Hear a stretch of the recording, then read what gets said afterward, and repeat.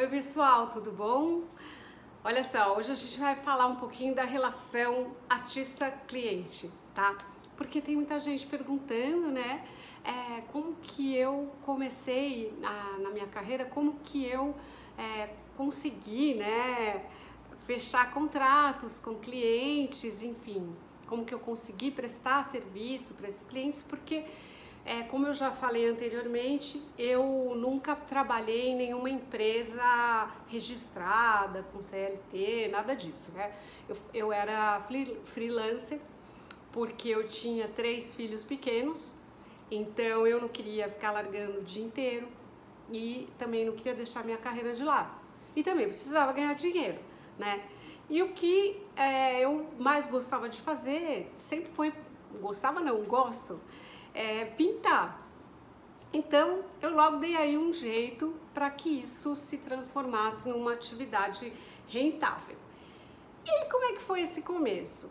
Simples, pessoal. O primeiro passo, eu vou dizer que eu tive assim muita sorte, porque eu tinha um amigo é, dono, dono de uma gráfica que no fim ficou super famosa aí, porque ele fazia caderno é, da, da Looney Tunes, fazia uns cadernos assim com, ah, com personagem, né? Que é uma coisa que divulga muito o nome da, da empresa. Mas eu, eu não venho o nome aqui falar, não venho ao caso falar o nome aqui, porque a gente nunca sabe se a pessoa tá afim que fala, enfim.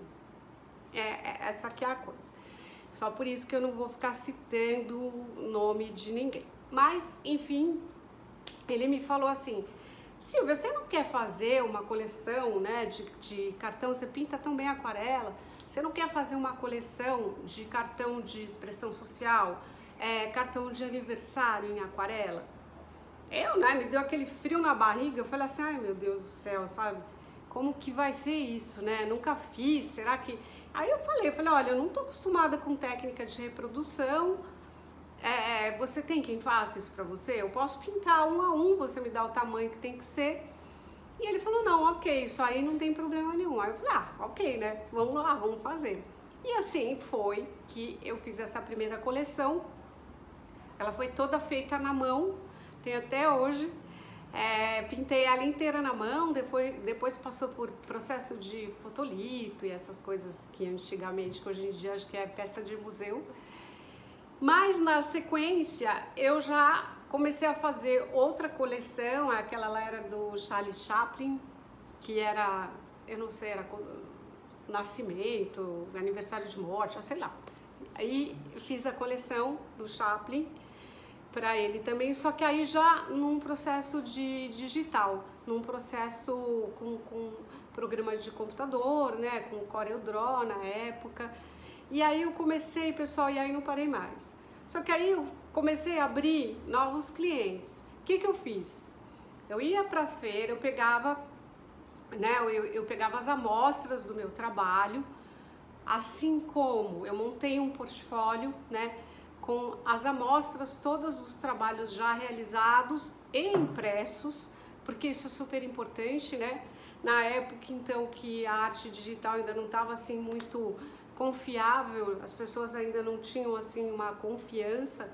O que, que eu fazia? Eu levava uma impressão minha, da, da impressora, é, levava o trabalho que eu tinha, porque muitas vezes, aliás, não, a maioria das vezes é, o computador era só para juntar os elementos. Eu pintava tudo, fazia, aquarelava, fazia o scanner e ó, juntava e aquilo virava um produto, juntava no computador. Então eu, para montar meu portfólio, eu pegava assim, é, o que eu achava assim, meus melhores trabalhos, né, na pintura e também os trabalhos já realizados, é, tanto impresso como impresso na impressora de casa, como também aqueles produtos que já estavam no mercado. Então, assim eu montava meu portfólio, lá ia eu para feira, pessoal, e ó, a maior dificuldade qual era? Nem era entrar no stand, oferecer para o dono da empresa ou para o diretor de arte, nem era isso Assim, a minha dificuldade maior era colocar preço na arte, porque eu acho que assim é muito difícil você estabelecer um valor para aquilo que você é, pinta, né? Para que você faz com o coração. Para mim era extremamente difícil, né? Mas mesmo assim, isso tudo foi é, evoluindo e aí chegou um momento eu já tinha um, um valor estabelecido para minha arte, né?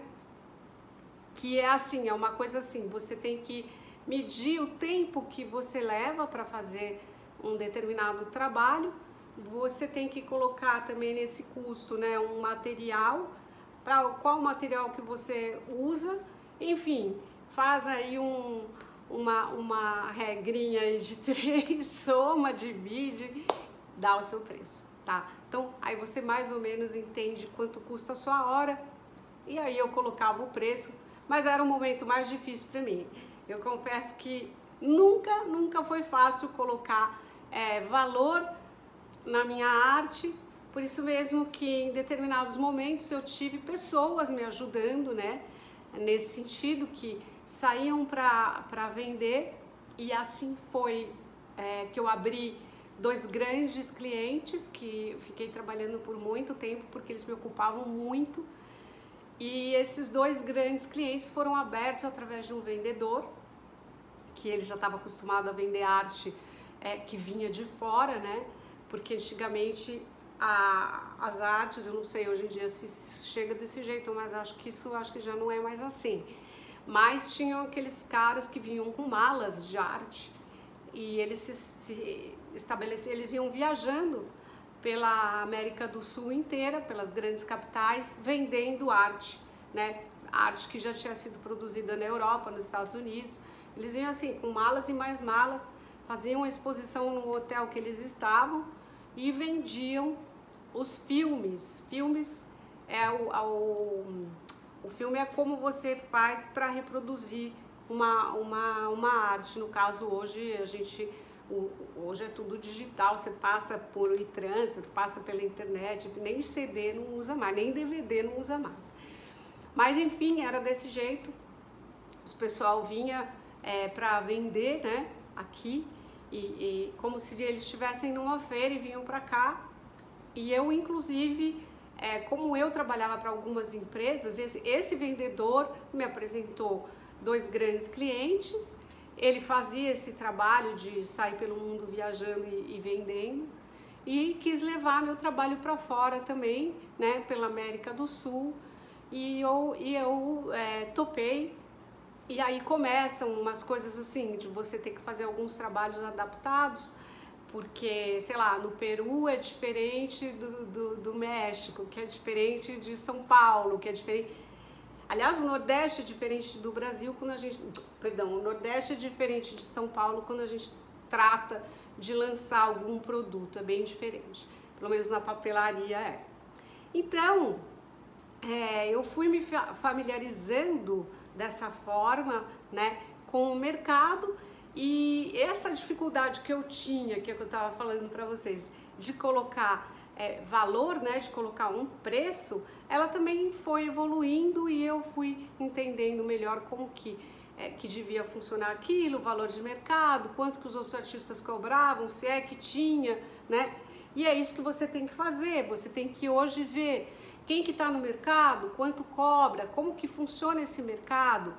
É, você vai trabalhar como? Para uma empresa só? Você vai fazer vários trabalhos? Você vai fazer convites? Aquarela é, tem assim um. A gente está tratando aqui de aquarela ou arte. Também pode ser outra coisa, acrílico, qualquer coisa que dê para você reproduzir, né? É, existe assim um mercado infinito de possibilidades para você colocar a sua arte. Então você tem que, primeira coisa, entender como que esse mercado funciona, se você vai vender, para quem você vai vender. Você tem familiaridade com processos de reprodução, é, no caso, vamos dizer assim, eu quero fazer convite. Ah, como que eu vou fazer para reproduzir isso daqui? Eu vou vender um produto acabado ou eu vou vender a arte para alguém que quer é, fazer um produto, né? Tudo isso você precisa entender. Você vai fazer parceria com pessoas que fazem né, a, a impressão do, dos seus convites, vai, vamos dizer, que seja esse o seu objetivo? Você vai fazer parceria com essas pessoas, essas pessoas vão vender? Ou você vai vender com. Você e ela vão fazer uma parceria, você faz a arte, a pessoa imprime, vocês vendem para um terceiro. Então, tudo isso precisa entender. Você, antes de se lançar nesse mercado, você precisa entender como é que funciona.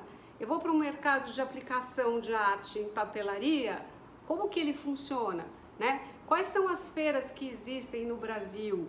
É, onde eu moro tem alguma? E aí você começa, você pode montar o seu portfólio, põe lá ele debaixo do braço, vai visitar as feiras, mostra para um, mostra para outro e dá início à sua carreira de artista profissional, tá bom? Então, é assim, é, comigo foi dessa forma, esses vendedor, esse vendedor me apresentou esses clientes, daí esses clientes foram crescendo, crescendo, crescendo, e eu fui prospectando também outros clientes em feiras internacionais, né, que é, eu já contei para vocês, no fim eu tenho uma agência que nos Estados Unidos, numa dessas feiras, né, eu encontrei esse pessoal, essa agência, que se interessou pelo meu trabalho, e eu hoje tenho, eles têm exclusividade do meu trabalho nos Estados Unidos, que foi a forma como eu fechei o contrato com eles, porque eu não ia ficar indo para lá para vender arte, né, montar stand em feira, nem nada, eu preferi ganhar menos, mas ter essa parceria de alguém tomando conta do meu trabalho por lá. E assim é, cada mercado é de um jeito, né? Dependendo como você quer trabalhar você pode, é, é, primeiro pesquisa, depois você escolhe, você pode escolher o como que você vai se sentir melhor, qual vai ser a sua melhor fórmula de sucesso. Vai, vai ser, vai ter momento que desanima? Vai, lógico, né? Você vai bater em porta que não vai abrir? Vai. Mas ó, pessoal, uma coisa eu vou dizer, persistência persistência é chave do sucesso. Porque assim, às vezes você não consegue com um, mas você consegue com o quinto que você vai atrás. Você entendeu? E aquele lá vai, vai valer uma, muito a pena para o resto da vida. E aquele lá vai te abrir canal para um monte de outras coisas, entendeu? Então, é, às vezes, quando a gente não é conhecido, às vezes não, quando a gente não é conhecido no mercado, ou que você não tem nenhuma indicação de ninguém, ou você não tem ninguém próximo que faça esse tipo de coisa, é um pouquinho mais difícil de desbravar, mas ao mesmo tempo é muito possível, sabe? Hoje em dia a necessidade de arte aplicada é gigante, tudo vai arte, tudo, em tudo, estampa de roupa, estampa de casa, é, artigo de papelaria, internet, mas imagina é, desenho para internet, Instagram, blá, blá, ó, hoje em dia está muito mais fácil. Tem muito mais gente? Tem, mas as possibilidades são bem maiores também, tá bom? Então, bora nessa procure se aliar com pessoas que realmente podem é, te ajudar, né? Pessoas que